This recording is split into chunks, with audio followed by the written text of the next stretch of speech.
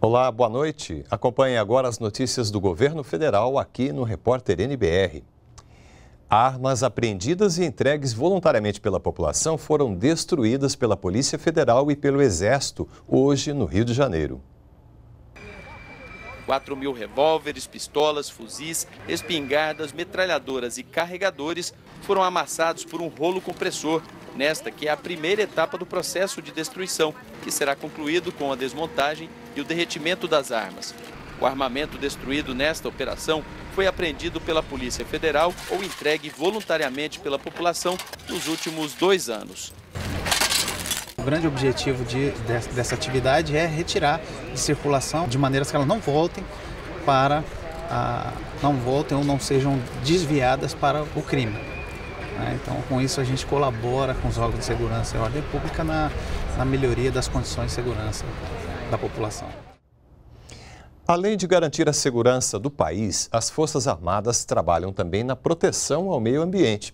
E esse trabalho foi tema de um livro lançado pelo Ministério da Defesa. O lançamento faz parte das comemorações do Dia Mundial do Meio Ambiente, que será na próxima segunda-feira. Divulgar as ações de proteção ambiental adotadas pela Marinha, pelo Exército e pela Aeronáutica. Este é o objetivo do livro Defesa e Meio Ambiente Preparo com Sustentabilidade.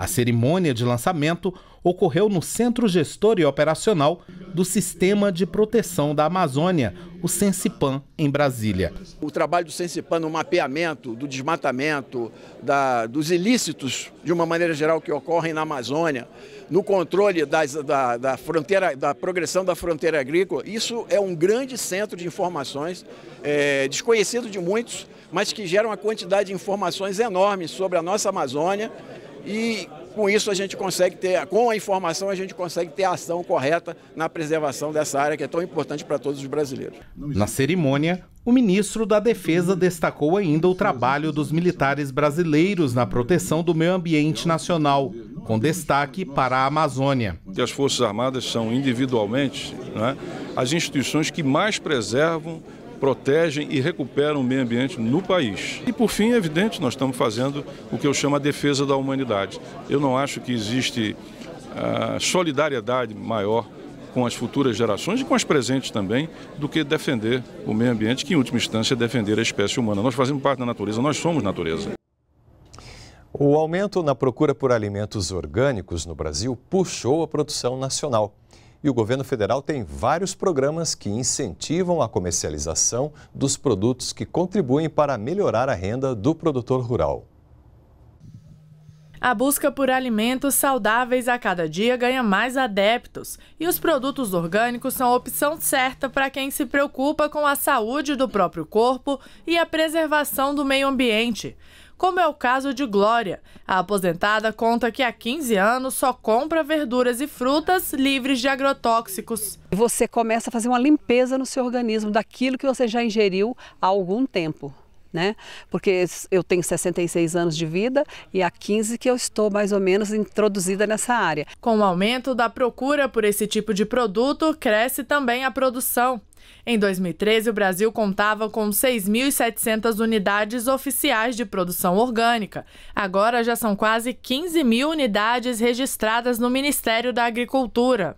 A produção de alimentos orgânicos no Brasil conta com o apoio de várias ações, como o Programa de Aquisição de Alimentos, o PAA, e o Programa Nacional de Alimentação Escolar, o PENAI sistemas de compras institucionais do Ministério do Desenvolvimento Social e Agrário, em que os produtos orgânicos podem ter um acréscimo de até 30% em seu valor. A gente tem visto um aumento muito grande de pessoas e produtores buscando a produção orgânica. Isso porque não só melhora para ele em termos de qualidade de vida no campo, como, quanto também melhora para ele a questão econômica, né, de maior rentabilidade.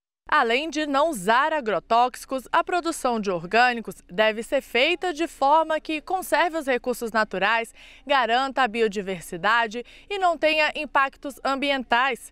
Por isso, sistemas de agroflorestas como esse aqui são comuns nesse tipo de produção. O sistema agroflorestal integra cultivos com árvores e é um dos projetos desenvolvidos no Centro Vocacional Tecnológico em Agroecologia e Agricultura Orgânica da Universidade de Brasília. Marcelo participou deste e de vários projetos da universidade quando era estudante. Com os conhecimentos, ele realizou o grande sonho de se tornar produtor de orgânicos. Eu queria comer um alimento saudável e ter a certificação, eu me certificar que eu estou comendo um produto ali de qualidade, né? Poder realmente ter uma qualidade de vida para mim, primeiramente. E depois para isso, para a gente poder estar tá melhorando o planeta como um todo, né? Porque esse trabalho que a gente faz não é simplesmente para a gente ter alimento orgânico para a gente, é um trabalho que vai muito mais além do que simples da produção orgânica, né? A gente está querendo melhorar o ambiente como um todo.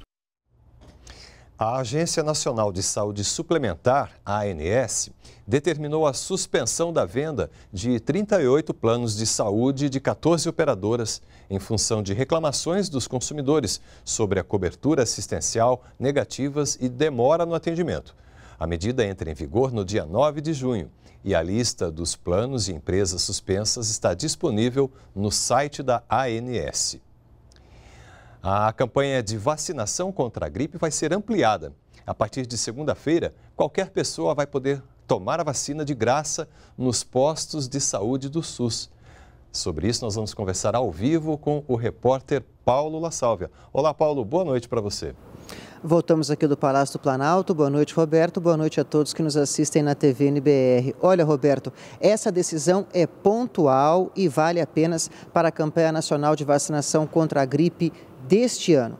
Foi tomada pelo Ministério da Saúde nesta sexta-feira e anunciada pelo ministro Ricardo Barros em Maringá, no Paraná. Por que essa decisão do Ministério da Saúde? Porque das 60 milhões de doses compradas para a campanha nacional de vacinação contra a gripe deste ano, ainda sobram 10 milhões de vacinas, segundo o ministro Ricardo Barros. Isso porque, ainda segundo o Ministério da Saúde, a circulação dos três tipos de vírus que podem ser imunizados com a vacina está menor neste ano. E como as vacinas têm validade de um ano, vale a pena aplicar em toda da população, porque senão elas vão ser desperdiçadas para a campanha nacional de vacinação do ano que vem. Segundo o ministro da Saúde, Ricardo Barros, caberá às secretarias municipais e estaduais de saúde decidirem como vai ser a aplicação das doses na população em geral, isso respeitando os estoques. Já em, já em relação aos grupos prioritários, o Ministério da Saúde acabou de divulgar o último boletim e segundo este boletim, 76,7% das mais de 54 milhões de pessoas que fazem parte desses grupos prioritários já receberam as doses da vacina, como, por exemplo, profissionais de saúde, indígenas, gestantes, mulheres que acabaram de dar à luz, crianças e também professores das redes pública e particular de ensino. Essa é uma das inovações da campanha nacional de vacinação contra a gripe deste ano. E lembrando, ela segue até a próxima sexta-feira, 9 de junho. Então, quem se interessar, procure um posto de saúde, principalmente a partir da semana que vem, para receber a dose e se imunizar contra esses três tipos diferentes de gripe que segue o protocolo da Organização Mundial da Saúde. Eu volto com você no estúdio, Roberto. É isso aí, Paulo. Muito obrigado, então, pelas informações. E nós ficamos por aqui. Uma ótima tarde para você e continue com a gente aqui na NBR, a TV do Governo Federal.